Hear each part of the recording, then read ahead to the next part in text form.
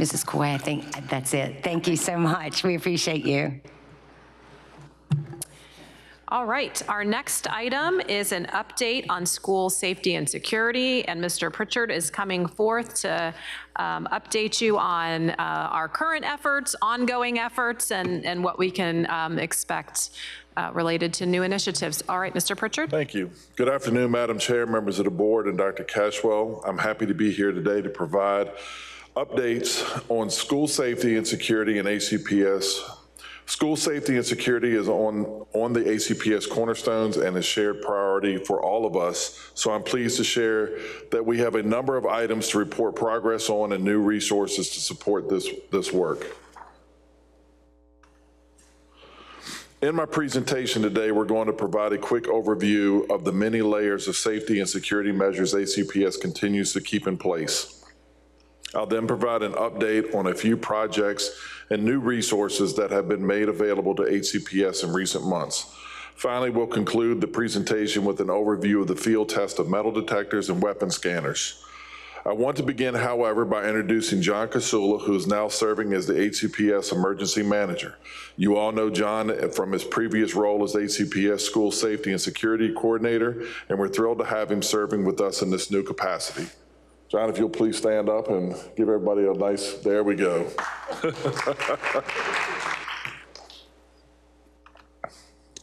As you know, HCPS has many layers of security in place through the, throughout the division, which are noted above.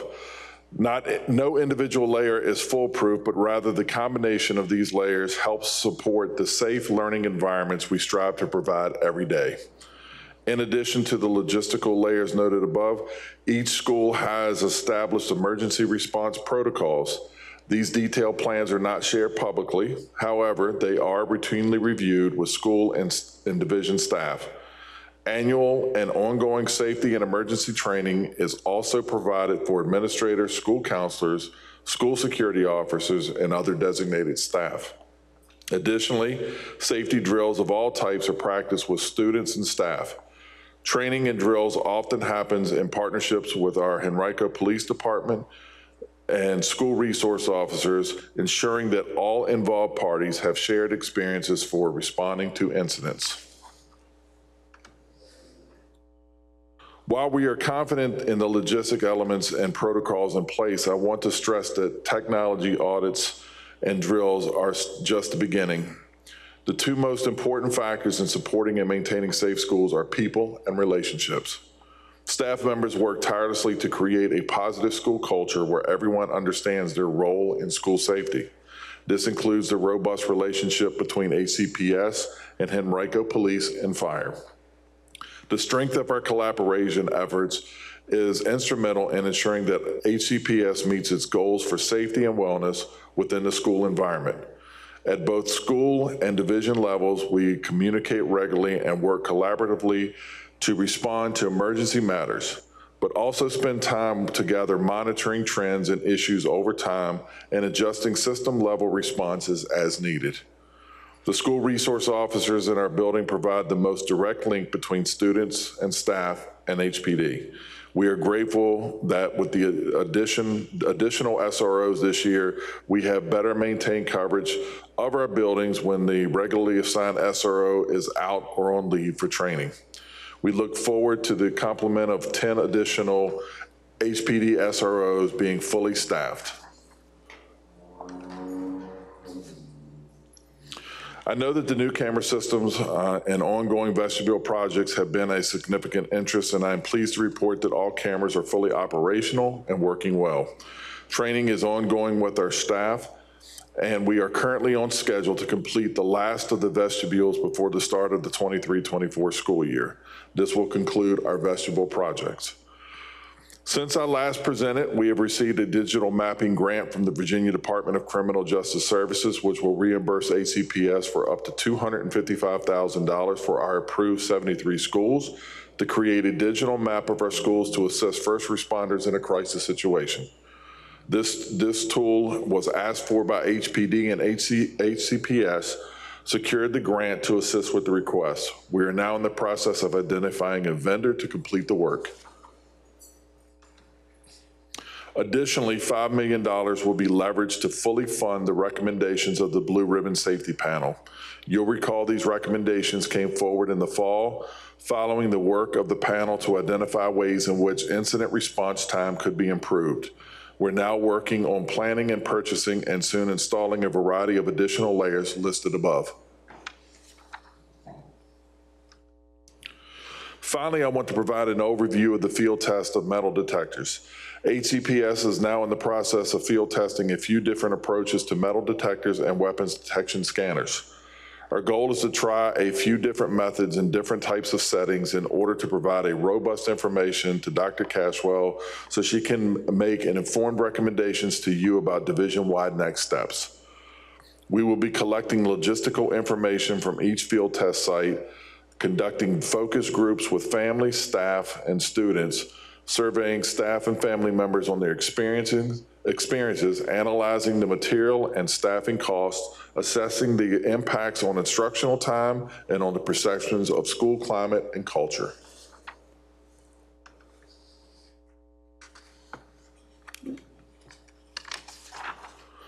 Phase one of this field test will, will deploy traditional metal detectors at the entry points of three high schools, Mills Godwin, Hermitage, and Varina. Phase two will host weapons detection scanners at two of our middle schools, which have not been, yet have been, been identified. Weapon scanners allow for students to pass through without removing keys, phones, or laptops because the technology is sophisticated enough to pick up on, on, on pick up only on weapons and firearms. This technology is being used in some school divisions around the country and is found in places like Busch Gardens and Disney World, as they are effective at scanning large numbers of people in a very efficient manner.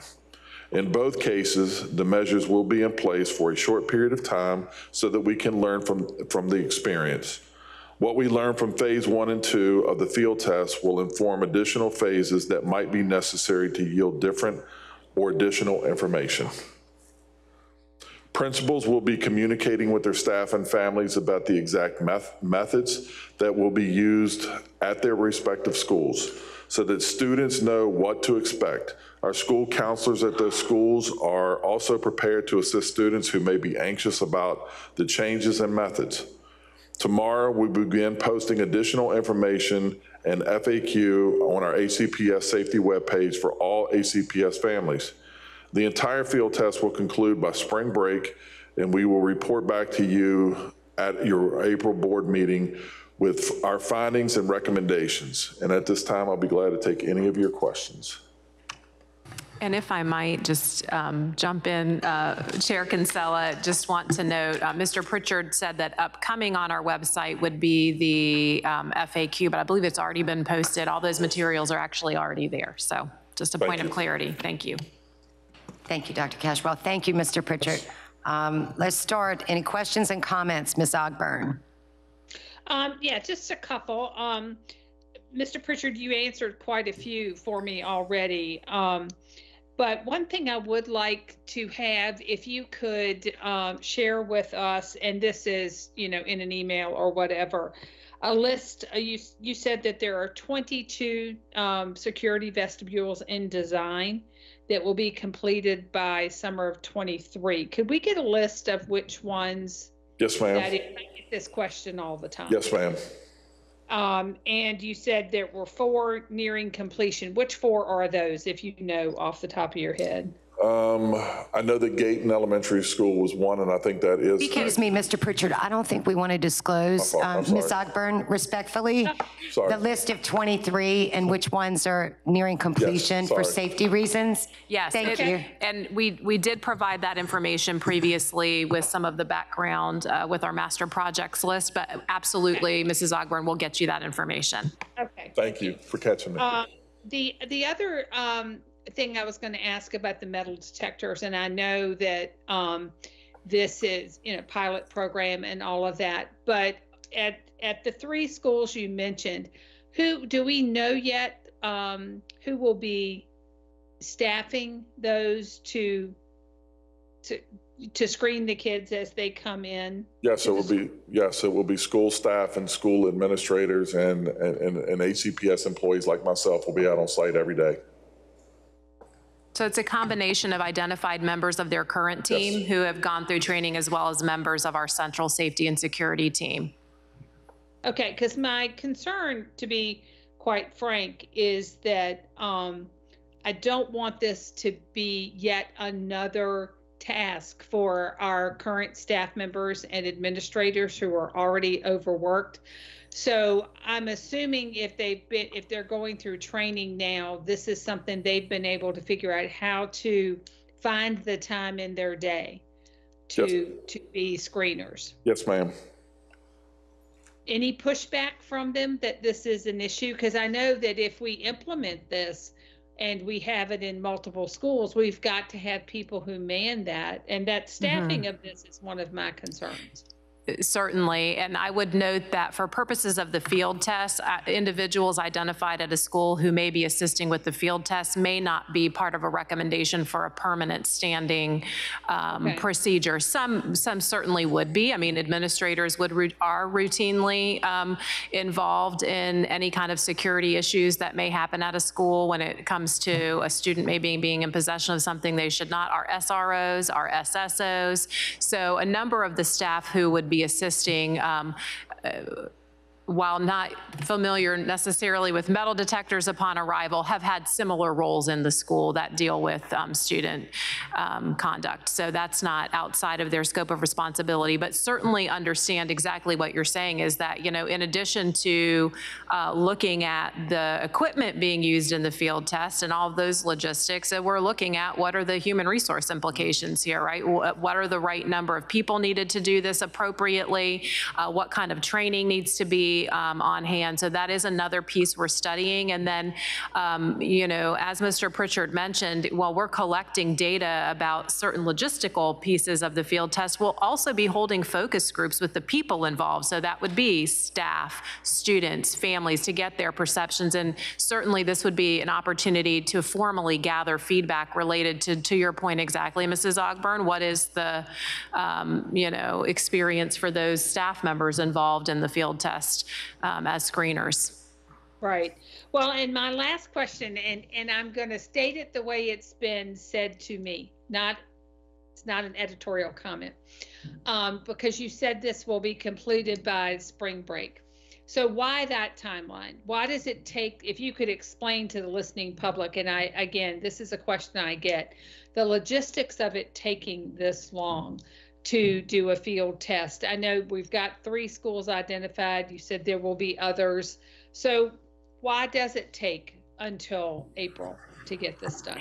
Well, certainly you've brought up some of the points. There, there are people involved, our, our safety team, and so we'll be sharing those resources with each school on the days that they're actually participating in the screening, as well as gathering data and uh, the focus groups and so on. So we want to make sure that we're looking at all aspects um, and that we have those, um, those pieces complete by that date. So each of the high schools uh, involved in the field test is actually um, participating in five days of uh, metal detector screening.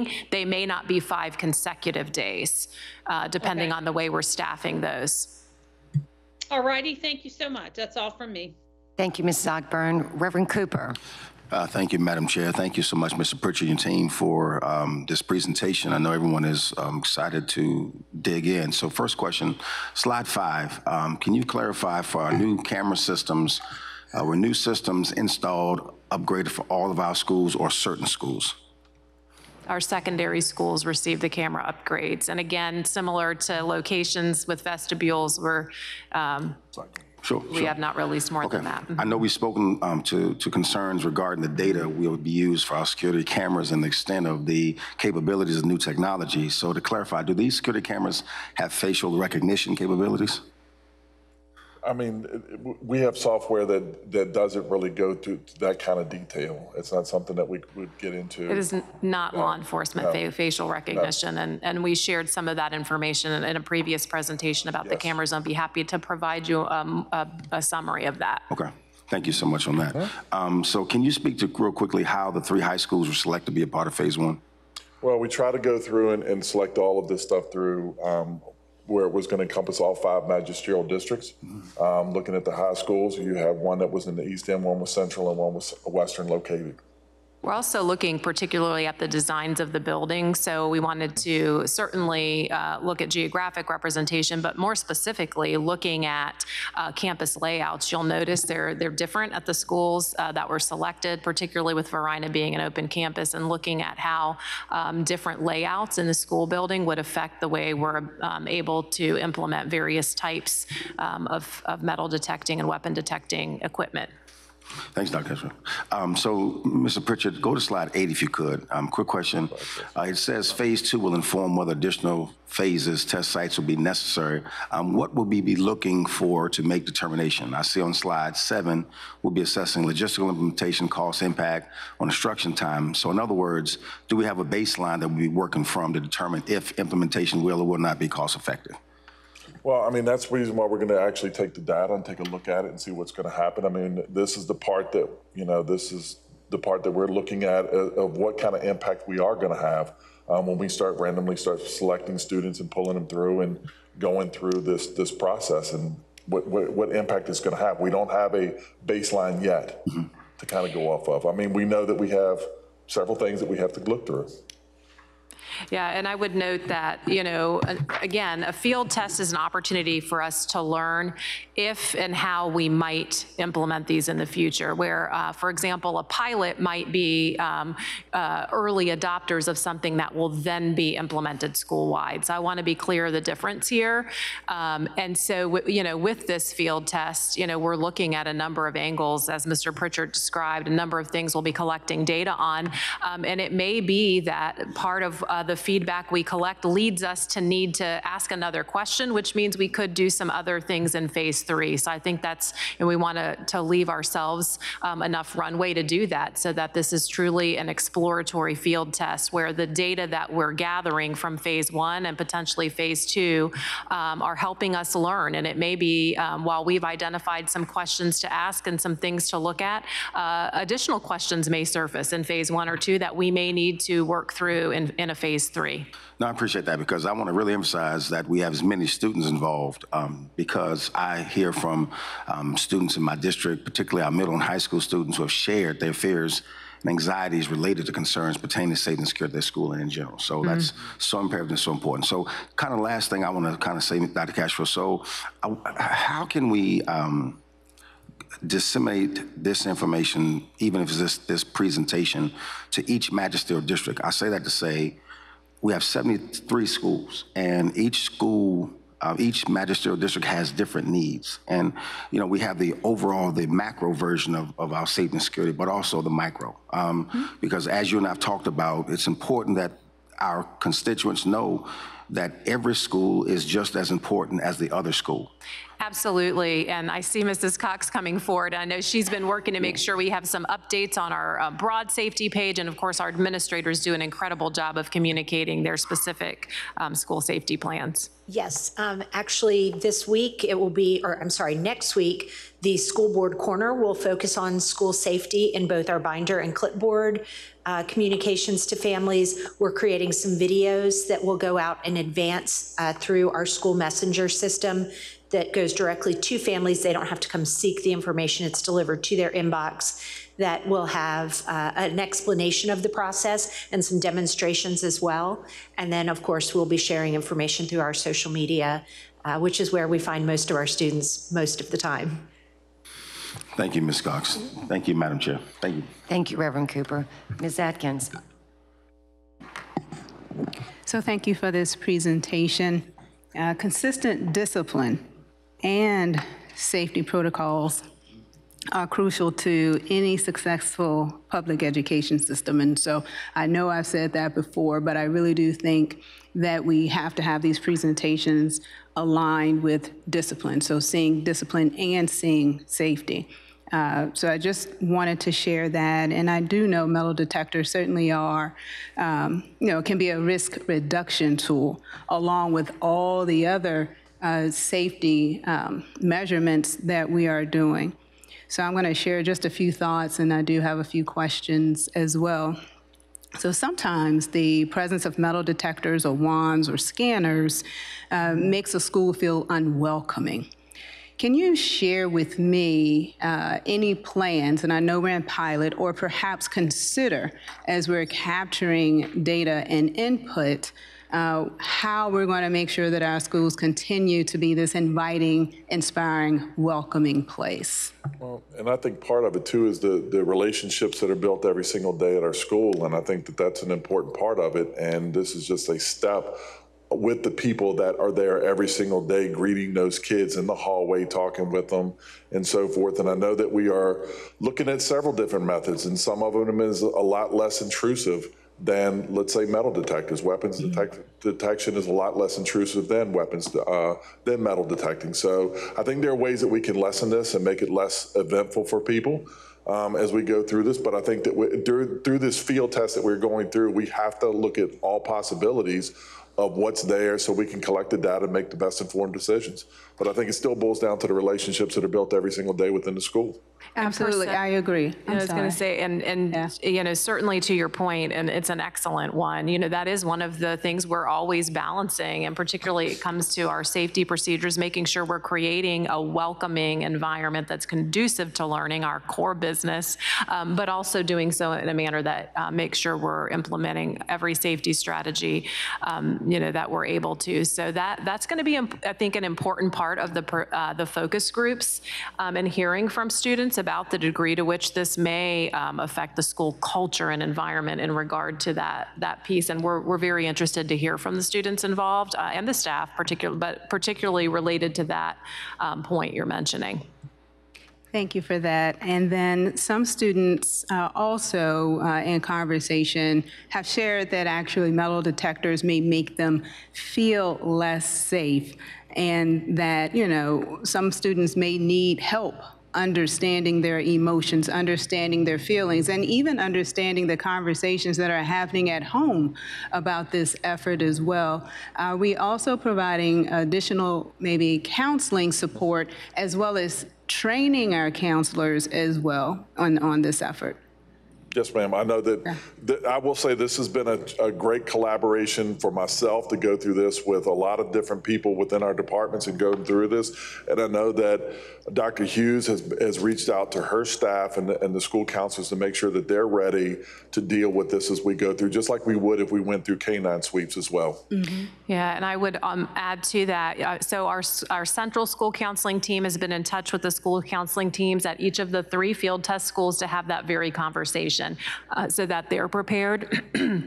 And they may work to identify any students they may already be aware of who may have um, anxiety or concerns so that they can proactively address those and make sure they're able to reactively address any concerns that may came- come up. And I know they've also looked at making sure students who may have other unique needs, perhaps uh, exceptional education or so on, that uh, there are social stories and other tools provided to help them understand that things may look different in regard to the school day than they've looked before. Thank you for that.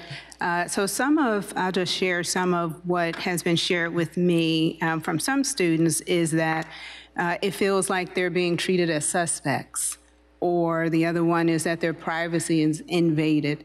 And I think, um, you know, when we're thinking about how quickly or how easy access to information is, particularly social media, I'm wondering if the team would consider reading materials um, for our students. Many of them asked, is there something that I can read, um, that I can grow through to better understand? So just something to consider as you're thinking about how you're reaching students. Please also allow books to be a tool as well, because there are many that, that really want to read it on their own time by themselves. I'm glad to hear about the focus groups. I'd love to hear more from a wellness perspective, making sure that there are brave spaces where they can share this information. And so as you're thinking through that in brave spaces, I'd love to hear more about what those brave spaces look like. Yes, and I would um, add, you know, helping students and/or staff members or visitors to the building, because in some of the scenarios, we would actually be screening visitors at parts of the day. That's one of the pieces of the field test. Um, You know, uh, Mrs. Cox mentioned a variety of ways we're going to work to make sure there are tools and resources for all of our families, but particularly our field test schools, where students and staff and visitors will be experiencing something different upon their arrival. I think one um, other great tool, in addition to uh, resources resources that might be read are video. And so there are um, some videos being created that actually show our team conducting this and going through exercises so that students and families can actually see uh, what they might expect upon arrival to school before the field test begins. And also others in the system um, have an opportunity to see what it looks like in action.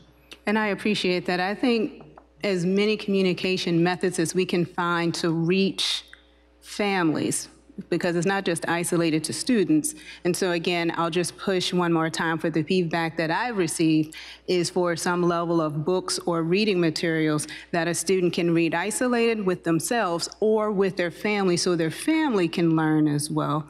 So wanted to share that just off of a screen with a book or some level of reading material. The other um, thought that I have, uh, and so this is probably more a communication uh, question, but in thinking about uh, sometimes, you know, schools can have a negative perception when they have metal detectors.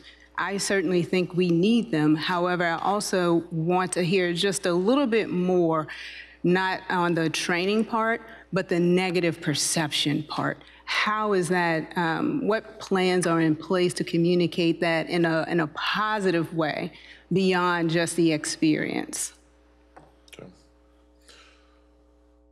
I mean, that's something that we'll, we'll go through, and I mean, I think as we go through this and we collect the data and we determine, we, we come together as a group and we start determining what are our next steps, that's something that we'll talk about and, and make sure that we put in play as far as better communication about this and what it's gonna look like and how it is gonna affect the school.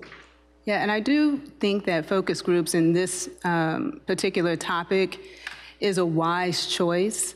But again, I'll just continue to use the word brave space.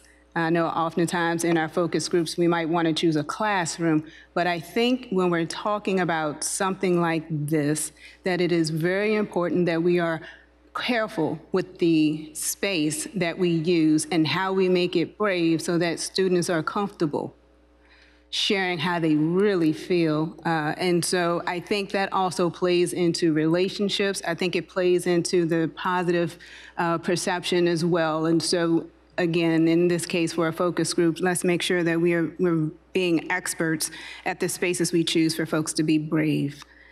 And then uh, you talked about training a little bit, and one question that I have is, will one person manage the equipment, search students, and then um, also the persons that are being trained, they're being trained on the equipment, or they're being trained on searching students? What is the training Uh, It's all What is- covered. I mean, it's, it's, Okay. it's detailed in all of that stuff. It's bag checks, it's walking through the monitors, what's gonna happen, searching the bags. Um, it's, it's, it's all, it's everything, and everybody is kind of going through the whole process. So it's kind of grouped up into teams. There's no way one person can do all of this. So we're gonna be working in teams to kind of man people through the machines and, and, and go through the, uh, book bags that need to be inspected, uh, on a day-to-day basis. And then every, all of us went through wanding training as well. So if we were unable to identify anything, uh, on, on their persons, but yet they're still, the metal detector's still going off. Right, so once yes. they would go through the metal detector, then potentially the wand would be used. And so I was just wondering, again, back to staffing, I have concerns about staffing as well, but more on the training end. uh, Because I, I think that it can become very overwhelming to learn the equipment, be the individual to search, be the individual to also make sure that if there's any issues with the machine, that they have knowledge of that as well. So I look forward to learning more. I'm grateful for your effort and your team's effort because safety is a priority and it is going to take testing to get as close as we can to be effective. Uh, but I, again, please consider the, the well-being around those focus groups. I'm, I'm also concerned just a little bit that we don't just pick a classroom, put folks in it and ask questions. I don't think that's the right way to go for this particular topic. Okay? Yes, ma'am. Thank you. Thank you, Mrs. Atkins. Mrs. Shea? Thank you, Ms. Kinsella. Um, I want to start by um, thanking uh, the, the board and our counterparts and um, your team uh, Mr. Pritchard, for the uh, funding and the implementation of the new camera systems. I've heard from uh, my administrators that it's really been a game changer um, in ma- helping manage their building. Um, And um, so thank you thank you for that uh, investment. Um, Swipe cards, um, I won't talk about the, I won't disclose the specific location, but uh, you and I have talked about it, Dr. Cashwell and I have talked about it at one particular, uh, at- particularly at one location um, in my district. I continue to be concerned. And um, do we have any timeline on when we might see those? It- A lot of it just depends on when we're able to get the, the- those resources in. I mean, like everything else, I mean, if, if they're available, we'll work on this as soon as and quickly as possible. If there's a lead time, then there will be a delay in that. But I know with the funding that was granted to us, we are moving on that stuff now. We have a project manager in place, and so we're moving forward with the Blue Ribbon Panel recommendations, and whatever's there, we're gonna, we're gonna start attacking right now. Thank you, and I'm, I'm glad to hear that, that um, funding has been allocated from our, has it been allocated from our partners? It, it it did need to be allocated. We were able to identify funding to begin that work. Wonderful, Thank thank you. you, thank you so much. When we talk about an increase in K-9 sweeps, is that a slight increase? Is it a significant increase? I won't ask you to give me the specific uh, percentage figure off the top of your head, but, but what are we talking when we talk about increase in K-9 sweeps? I mean, it's an increase. I mean, a lot of it too depends on our partnership with HPD and, and when dogs are available to do this. So you'll recall in December, um, I made a request to HPD to increase the frequency of those K-9 sweeps. And so again, um, the schools were traditionally having K-9 sweeps at a certain cadence, and we've increased that. Wonderful.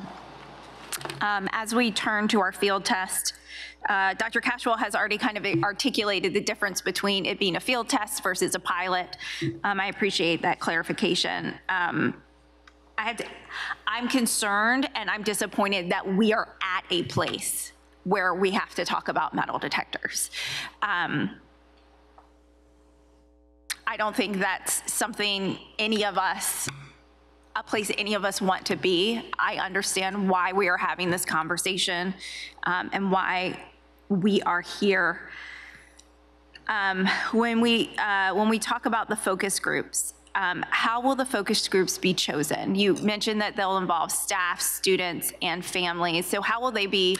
Our Department of Research and Accountability, um, who are trained in, in collecting data and making sure that uh, we're, we're using all best practices, and certainly your feedback's um, been taken into account there, uh, will be handling the logistics, and we'll be happy to share that at a later date. Thank you. So if there are stakeholders who um, have feedback that they would like to share about this, what is the best format? Well, I, I think starting off, what, you're talking about immediately? Then that would- Immediately, or um, as we're going through the field test, um, any feedback that they have, um, what's the best format to be shared? I mean, I think it would be obviously to contact those people that you have the, the day-to-day relationships with to start off and move that way. I'll also just chime in on behalf of DARE that um, we are uh, building out plans to do both focus groups and surveys, um, recognizing that the entire school community may want opportunity to provide input on surveys, but then smaller focus groups may also yield some really rich information and feedback for us. Uh, So we anticipate having those available for the whole school community and the participating sites uh, so that anyone impacted has an opportunity to, to weigh in on their experience. Thank you. Um, You know, and then uh, lastly, um, just to, just to build on some of the things that Dr. Cashwell shared at our recent town hall um, on this topic, we're all hands on deck. And we need families to communicate real consequences for students bringing weapons, making threats, what they post on social media.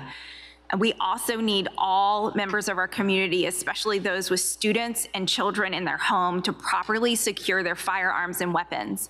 If students do not have access to weapons, they cannot bring them to school. And so, um, thank you for um, y'all's diligent work looking into this. School safety is of the utmost importance to, to all of us. Um, Thank you. Thank you, Mrs. Shea. And um, as Mrs. Shea highlighted, and we've highlighted before, metal detectors, whatever kind, are not the only um, thing that's going to keep us safe, right? If you could just reiterate one more time all the layers that need to be in place and perhaps highlight how successful, what has been successful in keeping our schools uh, safe to date, Mr. Pritchard or Dr. Cashwell. I was just simply going to to get the note, slide while he back, was yes. going to speak to Yes. that, there's a slide, slide three. I thought he might want to put that up while he Yeah. was answering your excellent question, because it is a layered approach, and we certainly know that uh, it's a number of strategies that work together, not any one thing, and so I thought that might be helpful. And it's, uh, all of these things are in place and, and, and visible every single day within our schools. I think the most important part of it too is that, that human connection that we have. I mean, that's been our best resource in identifying problems and being able to deal with them. Um, up front, I mean, we have a lot of different resources. If you don't feel comfortable coming forward to somebody in the building, there are resources to where you could email um, and let somebody know that there's something going on as well. But it's it's that connection, it's that human element that has made the biggest difference in all of our, um, you know, solving some of our our issues that we've had. Thank you. I just wanted to highlight that slide one more time and the layered approach that's been, that's kept our students and staff safe to date. Um, Because I know the board, as a board, we're hearing so much from constituents about metal detectors, metal detectors right now. Why don't we have them right now? Why, why is it taking so long? To Ms. Ogburn's point, for the field study, that it is so many of these existing school safety measures that have been successful to date right? Um, and the relationships um, leading into what you just said about our relationships. What is the timing of our 10 new SROs so that our schools are always covered? Well, and, I, and a lot of that, I know the HPD is working on that, and that's something that they they staff. So we're we're working with them to determine when that's going to happen. The positions were made available for, at the start of this school year. Um, Like many organizations, there's uh, staffing challenges. So I know they were encountering some of that, but as they're able to fill them, then those resources um, are available to us, and we are grateful, again, for the increase there. Right. And I don't think this is a question for you, Mr. Pritchard, but as Ms. Atkins uh, referenced, is perhaps for Dr. Cashwell, as Ms. Atkins refer- referenced, that the behavior conversation really goes hands, hand in hand with safety. So, Dr. Cashwell, could you just highlight some of the additional um, behavior supports we've put in place to try to help support our students this year? Absolutely. Um, And so, you know, I would just summarize and and certainly could spend a whole other work session just on this topic. Um, You know, we want to make sure that, first of all, our students understand what the expectations are of them when they're in their, in our buildings, right? And so um, that's done uh, every year through um, our- reviewing our, our student code of conduct. So we want our families and our students to be very clear on what expectations are.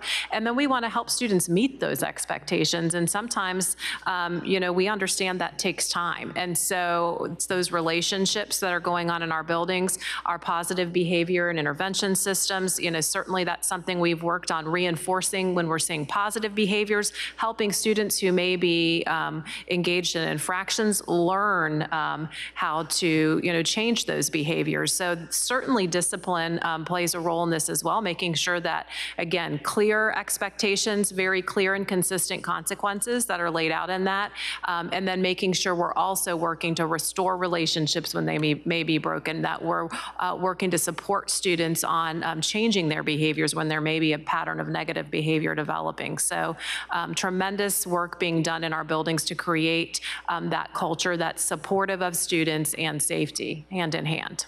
So would you, this is for either you or Mr. Pritchard, would you say we've seen an uptick, right, in behavior and safety incidents in our school, correct?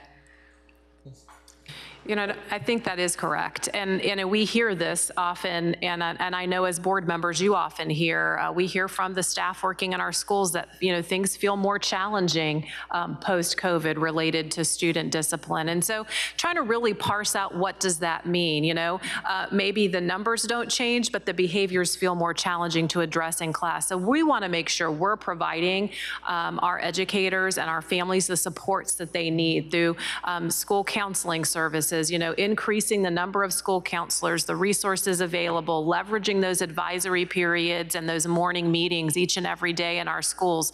Those are all opportunities for us to work through, um, you know, what we, we know has been an ongoing challenge for, for our community, for our schools. Um, And, and that's been um, a trend we're seeing nationally. So we're really wanting to make sure that we're putting those right supports in place to address this. Do we anticipate any messaging around um, perhaps behavior and perhaps highlighting the code of conduct, right? Like, when this behavior happens, um, please see page X. Um, Because I know, I believe it was in the letter you sent to families, Um, but could we just highlight perhaps this, the student code of conduct and the related consequence to the action, whether it's a threat, whether it's a weapon, um, because the consequences are um, severe.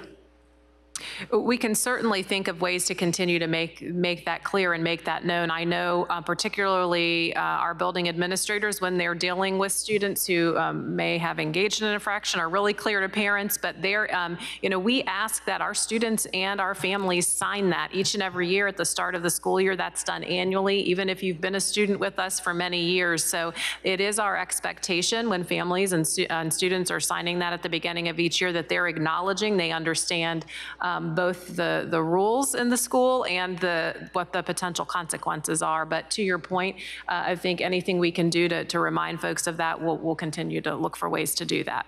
Thank you, thank you so much. Mr. Pritchard, thank you so much for the presentation. Thank you. And I- do want to uh, thank the board again for your ongoing commitment uh, when it comes to school safety. This is not an isolated topic. In the five years uh, I've been in this seat as superintendent and working uh, with you all as board colleagues, this has been, an- it's ongoing work and ongoing commitment, ongoing discussion, and you can see uh, whether it's been updating equipment, adding additional resources, school counselors, mental health professionals, professionals.